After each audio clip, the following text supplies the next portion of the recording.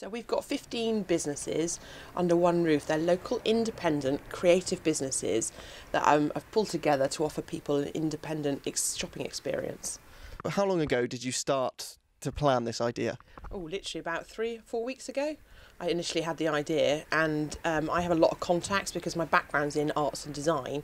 Um, so I love individual, you know, unique pieces anyway. So I just picked the phone up to a few people and put a post out on Facebook to see what sort of interest I would gather.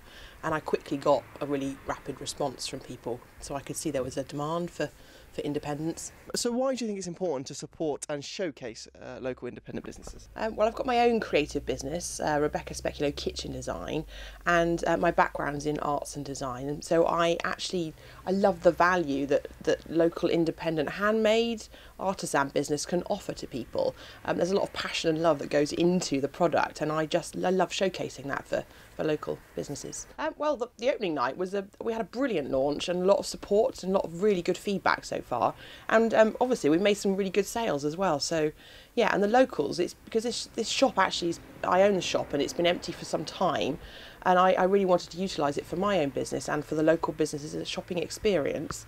Um, and the locals it's been really well received with, with local people in the area too. Uh, yeah there's a really good mix. I wanted a good mix of sort of local food and produce um, a cl- you know something somebody offering local cashmere clothes, pink avocet, and um, yeah, got a frame as a jeweller's, um, and handmade wool scar uh, hats and uh, throws. So yeah, and and man presents. We've got a guy selling knives as well. So we've got a really good a good selection of products. Well, I'd like to see how this goes see what works and then take it forward so we've got another experience i can create more experiences for local businesses and for people to come and experience something that they wouldn't get anywhere else um, so yeah so i'm going to take that forward beyond this and, and watch what happens next